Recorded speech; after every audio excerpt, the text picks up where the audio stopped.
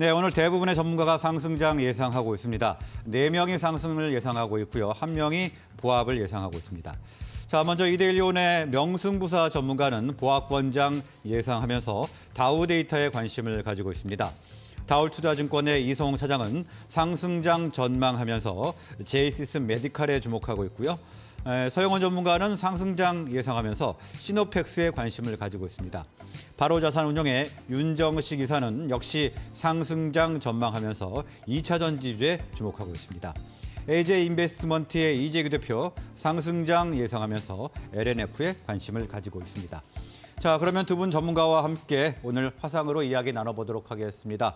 이데일리온의 명승부사 전문가 다올투자증권의 이성웅 차장 연결돼 있습니다. 자, 두 분 나와 계십니까? 네, 안녕하십니까? 예, 안녕하십니까. 네, 안녕하십니까. 먼저 명승부사 전문가님. 자, 우리 증시뿐만이 아니라 실국 증시에 자금이 몰리고 있습니다. 아, 우리가 네. 어떤 섹터에 좀 주목을 해보면 좋을까요? 네, 이번 상승은 어, 작년 12월 말이죠. 12월 말에 증시가 뭐 신저가, 코스피 지수 신저가로 끝이 났는데 누가 봐도 전저점을 깨고 더 하락할 것 같은 자리에서 외국인 자금이 급속도로 끌어올렸습니다. 어, 이렇게 그 끌어올리는 것을 저는 어, 오래간만에 봤는데요. 특히 이제 우리 아시아 증시, 한국도 그렇죠. 대만, 홍콩.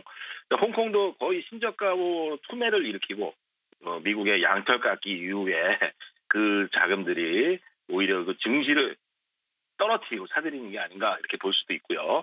자, 지금은 경제 지표, 리세션, 경제 리스크, 또 부동산 폭락 이런 거와 상관없이 시장을 외인들이 장악했습니다.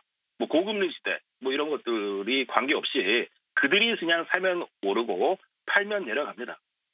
자, 근데 우리가 좀 생각해 봐야 될 게 그들이 뭐 7조나 샀습니다. 그 단기성이라 보기도 어렵지만 또 계속 사실지 저는 1조 정도가 더 남았다고 보는데요. 예측할 수 있는 부분이 아닙니다. 그들이 팔면 그냥 또 내려가게 됩니다.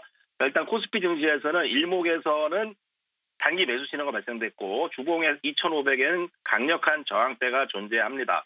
자, 아시아 증시는 저평가라고 보지만 일단 포커스는요. 저는 인공지능, AI, 고령화 사회 이런 쪽에 포커스를 맞추고요.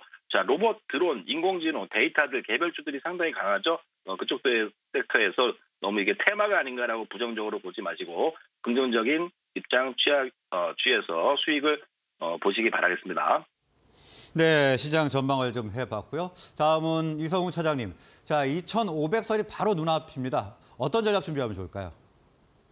어, 뭐 지금 아까 앞서서 말씀하셨듯이 뭐 수급적인 뭐 면에서 뭐 증시가 움직이는 부분이기 때문에 어, 지금은 이제 외국인들의 매수에 대한 부분이 들어올 가능성이 굉장히 크죠. 뭐 그렇기 때문에 어, 당연히 어떤 종목을 보유 매수 관점을 기본적으로 머릿속에 있어야 되지 않을까라고 좀 생각이 되고 있고요.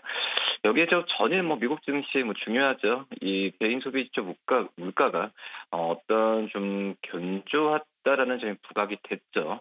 그러자 뭐 보합권 등락을 보이며 출발했는데 중요한 게 그 다음이었죠. 뭐 테슬라가 이 머스크 그 CEO의 이 전기차 산업 활성화 논의 뭐 이 부분이 나왔기 때문에 증시에 대한 부분이 좀 끌어올렸는데 어, 한마디로 이제 어떤 기본적인 베이스가 좀 무너지지 않은 상태에서 이런 종목별에 대한 이슈가 좀 더해진다고 한다면 뭐 우리나라 시장도 어, 마찬가지인 것 같아요. 오늘도 여러 가지 뭐 반도체 관련주들의 상승세가 예상이 되고 테슬라 상승과 함께 전기차 어, 관련주들도 오를 걸로 판단되고 있는데 그렇기 때문에 전체적인 상승세의 어, 무게를 더 둬도 괜찮다라고 좀 생각이 되고 있고요. 뭐 하지만은 음, 주의를 해야 되는 게 한 달 동안 어, 많이 오르긴 올랐어요. 뭐 그렇기 때문에 가파른 상승세가 좀 나왔기 때문에 가격 부담은 약간은 존재할 가능성이 있습니다. 뭐 그렇기 때문에 어, 또 FMC 회의도 있고 약간의 그 지난주 그리고 이제 1월 한 달만큼의 상승세를 기대하는 것보다도 어, 제가 본다고 하더라도 약간의 강보합 세 그리고 이런 상황에서 또 종목들과 업종별로 지금 뭐또 시즌이기 때문에 종목별 장세가 계속 지속될 겁니다. 그렇기 때문에 그런 부분을 염두에 두고 준비하는 그런 마인드도 굉장히 중요하지 않나 이렇게 판단됩니다. 네, 일단 단기간에 오름세가 좀 컸기 때문에 아, 이 가격에 대한 부담은 어느 정도 작용할 수 있다 이렇게 이야기를 해주셨고요. 다음은 관심 정보 알아보도록 하겠습니다. 먼저 명승부사 전문가님, 자 그동안 어, 분석을 해주신 종목들 리뷰도 해주신다고요? 네. 자, 비올, 어, 요즘 고령화 사회, 또 그리고 회사 실적이 좋죠. 비올 말씀을 드렸는데, 어, 저는 요, 이 자리에서 비올, 뭐 삼천리, 다우데이터, 요 세 종목을 갖고 왔죠. 계속적으로 요만 말씀드리겠습니다. 비올 35% 1차 목표가는 달성했고요. 다우 데이터도 11% 정도 수익 중입니다. 자, 오늘도 관심주는 또 다우 데이터 좀 말씀드려보도록 하겠습니다. 어, 예전에 저 증시가 많이 어, 코로나19 급락하고 올라갈 때 어, 증시가 장이 좋아지니까 뭘 사야겠다 했는데 카카오 같은 거는 너무 노- 위에 있었죠. 너무 높아서 또 건드리지 못했는데 그게 더 같습니다. 자, 4만 원대 지난 방송 관심 주셨는데 1차 목표 5만 원 보시고요. 요 다우 키움 그룹의 지주회사입니다. 다우 키움 그룹. 카카오처럼 계열사가 많아요. 이 키움 증권 포함한 어, 투자자산 운용, 저축은행, 벤처캐피탈 다수의 금융사를 보유한 지주회사고요. 또 콘텐츠 서비스죠. 사람인, 키다리 스튜디오, 레진 코믹스, 레진 코믹스 같은 콘텐츠 사업을 영위하고 있고 해외 계열사로는 다우재팬, 중국, 인도 5개국의 사업 진행이 되고 있는 어, 회사로 다우 데이터가 그 지주 회사입니다. 자, 외국인 매수로 상승하고 있는데 어, 코스닥 실적 1위고요. 자세한 설명은 명승부사의 주식 카톡방에서 좀 말씀을 더 드려보도록 하겠습니다. 네, 비올과 삼천리 리뷰를 해주셨고요. 오늘 관심 종목은 다우 데이터였습니다. 다음은 이성훈 차장님. 네, 저는 이제 제이시스 메디칼 말씀을 드릴 텐데요. 오늘 그 뭐 반가운 소식이죠. 실내에서 마스크 해제 이게 나와주면서 역시 뭐 주가는 선반영이기 때문에 뭐 지난주부터 화장품 또 이제 뭐 미피부 미용 관련주들의 상승세가 좋았었는데 그 안에서 한번 종목들을 찾아봤을 때 제이시스 메디칼이 어, 좀 가장 좀 매력적이지 않나라고 좀 생각이 되고 있습니다. 뭐 지금 현재 뭐 고주파나 또 초음파 쪽 레이저에 대한 어, 피부 미용 의료 장비를 지금 계속 갖고 있는 상황인데 어, 우선 진짜 제이스 메디칼은 이 의료기기 판매보다도 이 소모품에 대한 비중이 굉장히 크죠. 뭐 그렇기 때문에 당연히 신규 장비에 대한 판매 부분은 자연스럽게 교체주기에 따라서 소모품에 대한 매출 증가로 이어진다라고 좀 볼 수 있겠고요.